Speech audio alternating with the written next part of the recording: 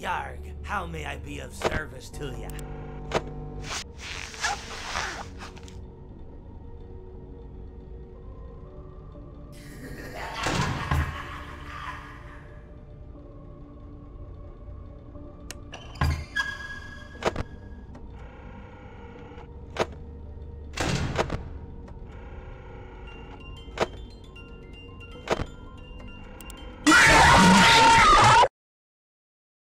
I don't hate you, but you need to stay out of my way.